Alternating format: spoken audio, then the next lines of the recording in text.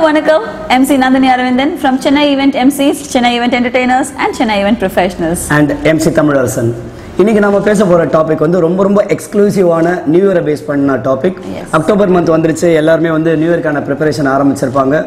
சில பேர் கேட்கலாம் என்னடா அக்டோபர்லேயே நியூ இயர் ப்ரிப்பரேஷனாக சொல்லிட்டு அவங்களாம் யாருன்னா நம்மளுடைய கிளைண்ட்ஸ் ஆனால் ஈவென்ட் ப்ரொஃபஷனல்ஸ் அப்படின்னா இந்த அக்டோபர் நவம்பர்லேயே பார்த்தீங்கன்னா ஆல்மோஸ்ட் எல்லா புக்கிங்குமே முடிஞ்சிடும் ப்ரிப்பரேஷன்ஸ் தான் நடக்கும். ஏன்னா நியூ இயர் அப்படின்றது வந்து உலகளாவே கொண்டாடக்கூடிய ஒரு தினம் அப்படின்ட்டு சொல்லலாம். ஸோ இதை யார் யாரெல்லாம் கொண்டாடுறாங்க எதுக்காக கொண்டாடுறாங்க அப்படின்றத நந்தினி ஷேர் பண்ணலாம். கண்டிப்பா.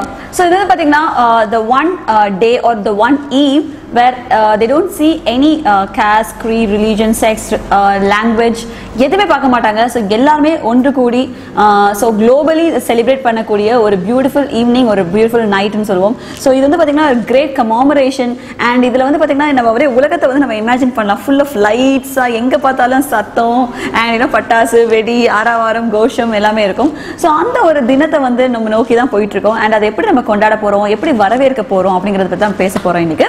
ஸோ எஸ் தமிழ் எஸ் என்னதான் ஒரு ஒருத்தர் வந்து அவங்கவுங்க ரிலீஜனை சார்ந்து நியூ இயர் கொண்டாடினாலும் அதாவது தமிழர்கள் வந்து தமிழ் வருட பிறப்பன் கொண்டாடலாம் தெலுங்கு நியூ இயர் கொண்டாடலாம் மலையாள நியூ இயர் கொண்டாடலாம். ஆனா உலகளாவே எல்லாருமே ஒன்று சேர்ந்து கொண்டாடுறது தினம் நியூ இயர் அப்படின்னும் போது அது எப்பவுமே ஒரு ஸ்பெஷலான டே தான்.